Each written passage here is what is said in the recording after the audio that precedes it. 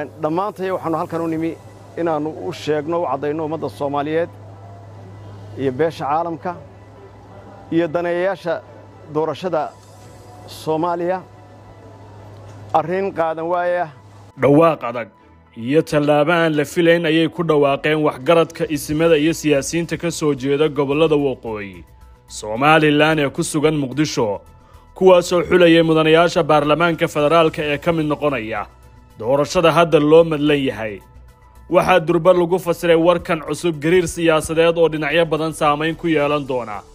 Ayna mar kale wakhti qaadan doonto xallintiisu dadka sida dhow ula socda doorashada kuraasta somalilan ayaa leh ra'iisul wasaare rooble waxaa ku dhacday dharbaaxa siyaasadeed oo ku kallifi doonta inuu si xooggan uga dhex baxo hannaanka kuraasta gobollada waqooyi ama ugu yaraan. In afartanka cisho ee doorashada si weyn khalkhal uga timaada waxaan diyaar u ahay in halaqa dhurwaayada iyo dawacooyinka geesaha taagtaagan idinka celiyo. Rooble wuxuu horey u sheegay inuu bahalle ka waardiyeyn doono doorashada kuraasta somalilan balse maanta boqor buurmadow cabdi xaashi iyo senatar cabdi ismaaciil samatar ayaa ku sifeeyay nin boob cad ku wajahaya doorashada kuraasta gobollada waqooyi iyada oo mid ka mid ah waxgaradka somalilan ka soo jeeda ee muqdisho uu isticmaalay qud ka guur oo qanjo u guur kelmadda ah. Waxaa laaliyaala wixii lanoo sheegana been bay ahaayeen nin madaxweyne la yidhaah ayaa ka soo duldegay isaga ayaa reerihii oo dhan doonaya inuu samaysto. Iyadoo taa la yaaban yahay ayaa laga qabtay waxaa loo dhiibay nin ra'iisul wasaare la dhaho. Ninkii ra'iisul wasaarihii wuxuu noqday kud ka guuroo qanjo u guur buu noqday in la sameeyey isimo been abuur ah. Erge aan sax ahayn musharaxiintana lagu xusho qaraabo iyo ehelnimo dhanka ra'iisul wasaaraha ah ayay dhinacyadan ku eedeeyeen injineer maxamed xuseen rooble. Guddiga doorashada gobollada waqooyi waxa ay ku sifeeyeen in guddoomiyaha oo keliya laga maamulo xafiiska ra'iisul wasaaraha xubnaha kale aysan talo iyo go'aan lahayn. Wax kasta oo la soo dhejiyey kuraasuna ay tahay mid laga soo jaangooyey dhinaca ra'iisul wasaaraha wax kama oga siyaasiyiintii waqooyiga ku metelayana wax alle waxay ka ogyihiin ma jirto. Guddidii doorashooyinka ee heer maamul goboleedna waxba kama oga marka laga reebo inanka guddoomiyaha. Habeenno ka hor waxaa soo baxaya warka sheegaya in saxiixa isimaha la xidhay sababta ugu weyn ee loo xidhayna ay tahay kursi ka mid ah kuraasta golaha shacabka taasoo si weyn indhaha loogu hayo.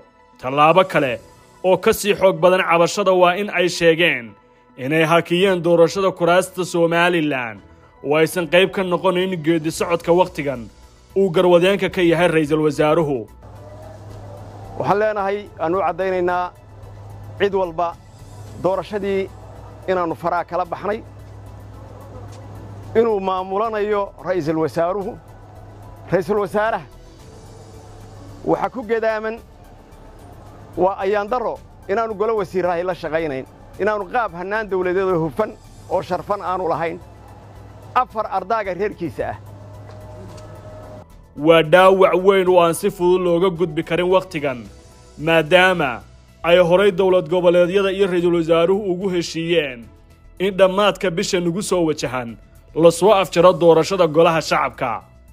Toddobadii maalmood ee la soo dhaafay cabashada la xidhiirta in ra'iisul wasaaraha oo u shaqaynaya musharaxiin ay isku hayb ka soo jeedaan faragelin ba'an uu ku haya hannaanka doorashada gobollada waqooyi ayaa ahayd mid taagan. Balse faragelintu kama soo bilaaban wakhtigan waxa ay soo raacday habraacyadii agosto laba kun koob iyo labaatan xilligaasoo lagu qoray in ra'iisul wasaaruhu kormeere ka yahay doorashada somalilan balse habraacyo gaar ah oo xilligaasi kadib ay samaysteen cabdi xaashi iyo mahdi guuleed ayaa badbaado loo arkayey ha yeeshee iyana waa la tirtiray sida ay kol hore caddeeyeen guddiga doorashooyinka federaalka kadib amar ka yimid xagga ra'iisul wasaaraha. Waxgaradka somalilan ee hadda gacanta ka taagay arrinta doorashada cabashada muujiyey waxa ay sheegeen inay maalmo badan arrintan xal u raadiyeen ha yeeshee ugu dambayn ay guuldarraysteen dadaalladoodu waxa ay ra'iisul wasaaraha ku eedeeyeen boob iyo dhexdhexaadnimo la'aan baahsan. Waa tallaabo ay horay ugu eedeeyeen farmaajo in uu doonayo in kuraasta gobollada waqooyi uu wada qaato. Ha yeeshee qayladhaanta cusub ee roobla hadda ay ka keeneenna waa mid muujinaysa inay taagan yihiin in halkii horeba loo qaatay oo tani ay ka duwan tahay dhammaan habraacyadii iyo heshiisyadii la gaaray. Rooble waa u jug siyaasadeed. Madaxda dowlad goboleedyada qaarkood oo ra'iisul wasaaraha uu kala shaqaynaya sidii saamayn ay ugu yeelan lahaayeen. Kuraasta gobollada waqooyina waa u dharbaaxo aysan si fudud uga kaban doonin. Afartan maalmood in lagu soo dhammaystiro doorashadana waaba u dhimasho. Ayay durbe leeyihiin dadka sida fooggan ugu mashquulsan. Arrinta la xidhiirta doorashooyinka soomaaliya. Caadi ahaan dadka siyaasadda falanqeeya waxa ay somalilan kuraasteeda ugu yeedheen inaan cidina faragelin ku samayn karin. Ayna tahay in dadka ka soo jeeda somalilan ee muqdisho. Ay yihiin kuwo si fooggan uga warqaba siyaasadda aan oggolayn in wax loo yeedhiyo ha yeeshee shulonga siyaas lala noqon karo. Ma jeceshahay inaad barato qur'aanka kariimka ah iyo culumta shareecada?